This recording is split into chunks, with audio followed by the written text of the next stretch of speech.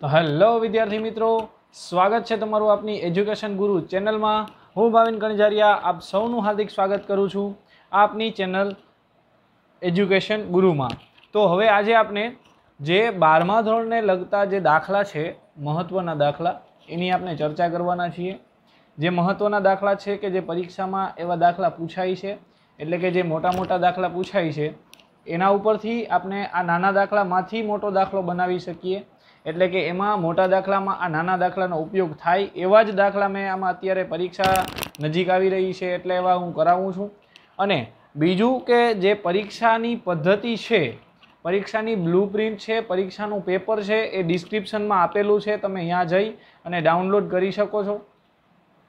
જે મહત્ત્વના દાખલા છે, એની પણ એક પીડીએફ આપેલી છે કે જે પ્રવેશના જે મહત્ત્વના પોઈન્ટ મહત્ત્વના મુદ્દા છે એની પણ પીડીએફ આપેલી છે, તો તમે એ ડિસ્ક્રિપ્શનમાં જઈ અને જોઈ શકો છો.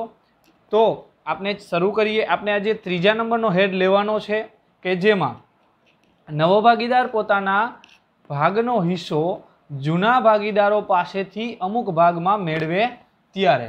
કે જે નવો ભાગીદાર છે, એ પોતાના ભાગનો હિસ્સો છે, એ જે જૂના ભાગીદારો છે, એના પાસેથી અમુક ભાગમાં મેળવશે.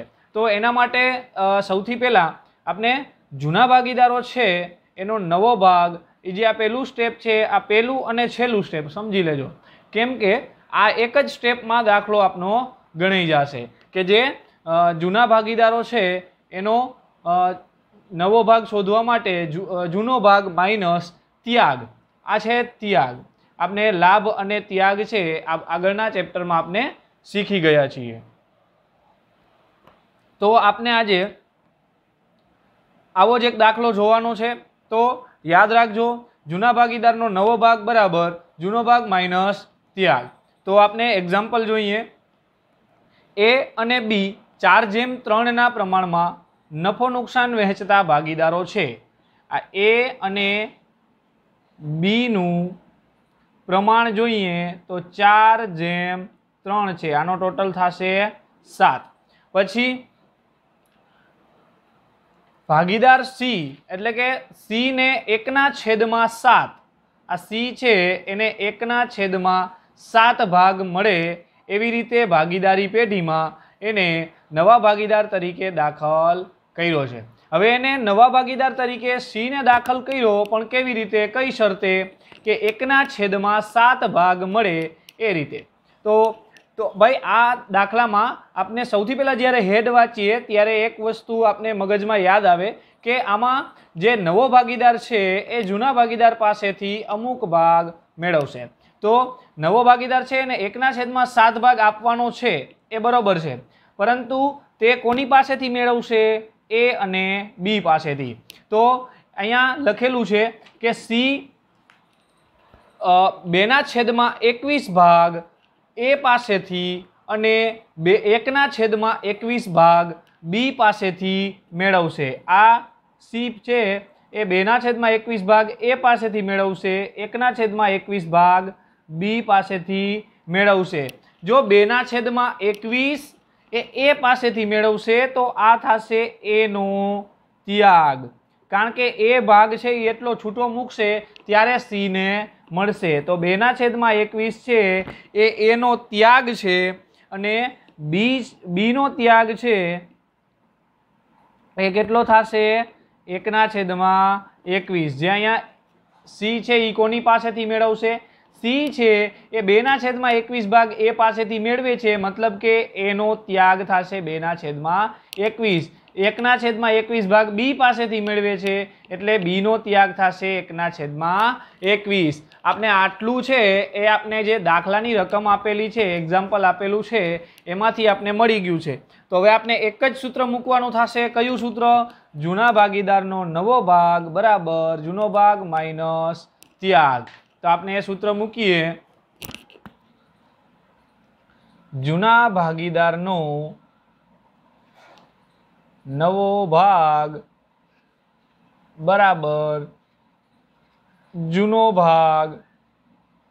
માઇનસ ત્યાગ. આ સૂત્ર છે, સિમ્પલ સૂત્ર છે. તો આપને જે ત્યાગ શોધતા હતા, ત્યારે આના આગળના ચેપ્ટરમાં ત્યાગ શોધતા હતા, ત્યારે જૂનો ભાગ માઇનસ નવો ભાગ કરતા હતા. બીજું કાંઈ કરેલ નથી. આ નવા ભાગને ઉપાડી અને અહીંયા લીધો છે અને આ જે શું કહેવાય, ત્યાગ છે એને અહીંયાથી ઉપાડી અને અહીંયા લીધું છે. મતલબ કે આપણે જ્યારે ઓલું બરાબરની આ બાજુ અને બરાબરની ઓલી બાજુ લઈ જતા હતા, એના જેવું જ એક અહીંયા પિક્ચર આપને જોવા મળે છે. તો આપણે આગળ વધીએ, તો અહીંયા જૂના ભાગીદારનો નવો ભાગ, બરાબર, જૂનો ભાગ માઇનસ ત્યાગ આપેલું છે. આપણે સૂત્ર મૂકવાનું છે. તો આપણે અહીંયા જે સૂત્ર આપેલું છે એના ઉપરથી સૌથી પહેલાં આપણે જૂના ભાગીદારનો જે જૂનો ભાગ આપેલો છે ચારના છેદમાં સાત થશે. કેમ કે ચારને ત્રણ, સાત. આ જૂના ભાગીદાર, જૂનો ભાગીદાર છે, એનો જૂનો ભાગ થશે. એટલે કે આપણે અહીંયા શોધશું એનો નવો ભાગ બરાબર. જે જૂનો ભાગ શું છે? ચારના છેદમાં સાત ઓછા આપણે એનો ત્યાગ શોધવાનો છે. ત્યાગ આપણે અહીંયા મળેલો છે, ત્યાગ આપેલો છે. બેના છેદમાં એકવીસ. હવે વિદ્યાર્થી મિત્રો ધ્યાન દેજો, બહુ મહત્વનો એક પોઈન્ટ કહીએ તો એ તમને આગળ જતા પણ કામ આવશે. એવો એક પોઈન્ટ આપણે જોવાના છીએ. જો તમે અહીંયાથી ડાયરેક્ટ ગુણાકાર આપણે આગના, આગળના દાખલામાં જેમ કરેલા છે, એમ કરો, તો હાલે એકવીસ સત્તા તમે એકસો સડતાલીસ કરી લેશો, તો ડાયરેક્ટ છેદમાં તમે મૂકી શકશો. પરંતુ એવું નહીં કરવાનું. આપણે સૌથી પહેલાં અહીંયા આપણે જોઈ લેવાનું કે જે નાનો છેદ છે, એના પાડામાં જે મોટો છેદ છે, એ આવી જાય છે. હા, સાત તેરી એકવીસ. તો આપણે અહીંયા જોવાનું, ચારના છેદમાં સાત, ત્રણ વડે ગુણાકાર કરીએ તો એકવીસ આવી જાય છે. તો ત્રણ વડે જો છેદમાં ગુણાકાર કરતા હો, તો અંશમાં પણ કરી નાખવાનું. આ પદ પદ વધારેલું છે.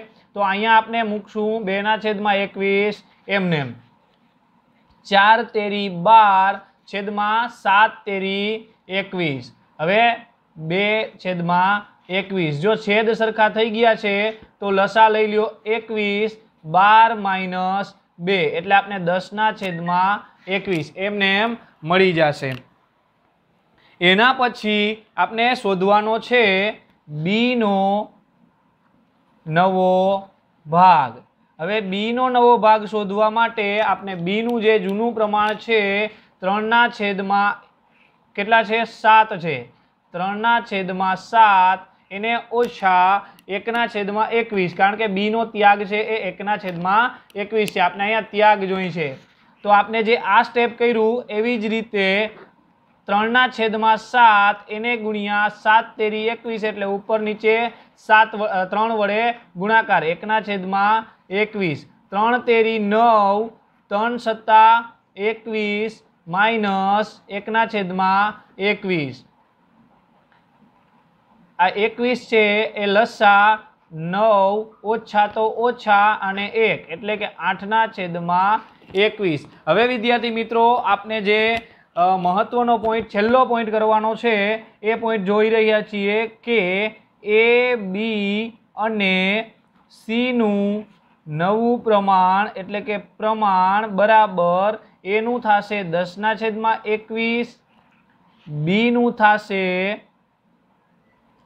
આઠના છેદમાં એકવીસ અને સીનું શું થશે? એકના છેદમાં સાત. જેમ અહીંયા આપણે ગુણાકાર કર્યો છે ત્રણનો, એમ આપણે છેદ જેમમાં લખવા માટે છેદ કરવા ફરજિયાત છે. છેદ સરખા કરવા એટલે ત્રણ છેદમાં ત્રણ. એટલે અહીંયા મળશે આપને ત્રણ એકા ત્રણના છેદમાં એકવીસ. તો આપને અહીંયા પ્રમાણ એ, બી અને સીનું શું મળશે? દસ જેમ આઠ જેમ ત્રણ. આ આપને પ્રમાણ મળી ગયું છે. તો આપને જે અહીંયા પ્રમાણ મળ્યું છે, એના ઉપરથી આપણે અહીંયા દાખલો આપનો આ પૂરો થાય છે. તો વિદ્યાર્થી મિત્રો, પરીક્ષામાં આવા દાખલા પૂછાય છે. તમે જ્યારે મોટા દાખલા પ્રવેશના કરશો, ત્યારે આ દાખલા ઉપરથી તમારે ત્યાગ અને લાભની ગણતરી કરી અને પાઘડીની ગણતરી થશે કરવાની. એટલા માટે તમે ધ્યાન દઈને આ દાખલા જોજો. કોઈ બીજા વિદ્યાર્થીઓ બારમામાં હોય તો એને શેર કરજો લાઇક કરજો, કોમેન્ટ કરજો. તમને કાંઈ પ્રશ્ન હોય તો કોમેન્ટમાં તમે જણાવી શકો છો.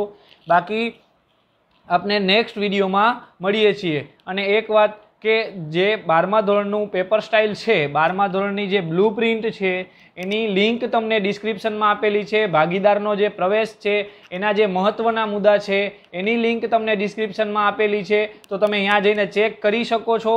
અને અત્યારે જે બારમા ધોરણની પરીક્ષા લેવાની છે, એનું ટાઈમ ટેબલ પણ આવી ગયું છે. તો એ તો પણ તમે ચેક આઉટ કરી શકો છો. ડિસ્ક્રિપ્શનમાં એની લિંક આપેલી છે. Thank you